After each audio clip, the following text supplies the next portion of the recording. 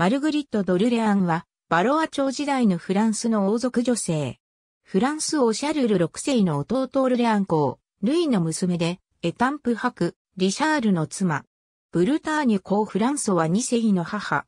自身の権利として、ベルティュージョ伯の称号を有した。オルレアン公ルイとその妻、バランティーヌ・ビスコンティの間の末娘として生まれた。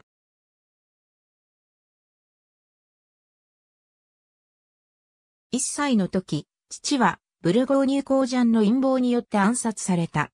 1420年、兄、フィリップの死去に伴い、ベルテュー伯領を相続した。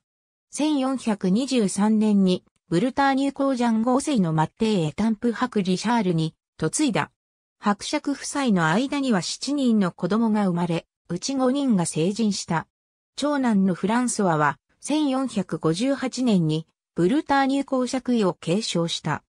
1438年に未亡人となった後、マルグリットは1442年に、防府の報土だったエタンプ伯爵領の保有を、いとこのフランス王シャルル7世の開封直居状により安堵された。しかし高等法院は、風神本人が死去すれば、その報土は直ちにフランス王領に回収されるべきだとして、マルグリットに与えられた直居状に意義を唱えた。非常に信心深い女性だったマルグリットは、1430年頃、日々の祈りのために、マルグリット・ドルレアンの自答書を作らせた。マルグリットは未亡人となった後、長くパリのロンシャン修道院や、その他の北フランスの修道院を転々としながら暮らした。彼女は各地の修道院を訪れ、滞在するための特別な許可をギヨーム・デストトビル枢機卿より与えられている。